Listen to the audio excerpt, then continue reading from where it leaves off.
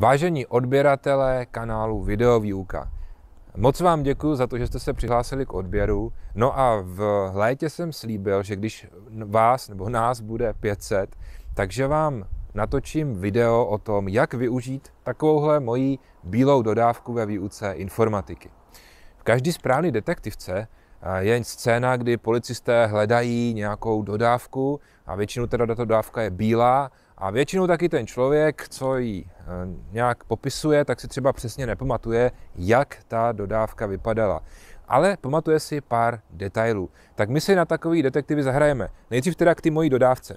Tak vidíte, že to je hradecký číslo, že ta dodávka uh, má tady ze strany posuvný dveře, jo, že je bílá. Když se teda podíváme dozadu, tak uh, tady se můžeme podívat, že má dveře, které se otevírají do strany. Můžeme si třeba ještě zapamatovat, že na ní je nějaká zahrádka. No a že tady z druhé strany nejsou. Takže teď si budeme zahrát na ty detektivy a stejně tak si můžete zahrát na detektivy s vašimi žáky nebo studenty. V detektivce většinou policista sedí u počítače a prohledává podle těch kritérií databázy a různě filtruje výsledky. Já jsem si tady takovou podobnou v úvozovkách databázi připravil. Je to jednoduchá tabulka. A to je právě to hezké, že dětem můžete ukázat takovýhle praktický příklad s jakýmkoliv tabulkovým procesorem. Třeba v Excelu to můžete udělat. Já jsem si tady vybral tabulky Google. Všechny tyhle tabulkové procesory totiž mají nějaký jednoduchý automatický filtr. A tady vidím, že třeba můžu filtrovat. Řekněme, že jsem si tady řekl, že chci Zajímá mě ta dodávka. Tady ještě vidím, že eh, ten svědek říkal, že byla bílá, no tak si ještě můžu vyfiltrovat bílé dodávky. Jo? A takhle můžu, takhle můžu pokračovat.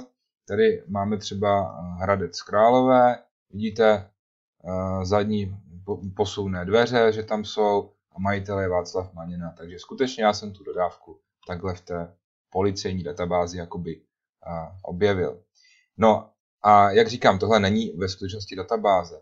Takže když byste podobný příklad chtěli udělat e, s dětmi e, třeba v SQL, tak e, je to velice jednoduché. Doporučuji inspirovat se třeba tady na V3 Schools, kde je i velice dobrá, velice dobrá interaktivní pomůcka na výuku právě SQL. Takže vidíte, dodávku jsme nakonec našli. Já vám hrozně moc děkuji za to, že jste se přihlásili k tomu odběru a přeju vám, aby ten další rok byl pro vás příjemný, hezký, hlavně vám přeju hodně zdraví.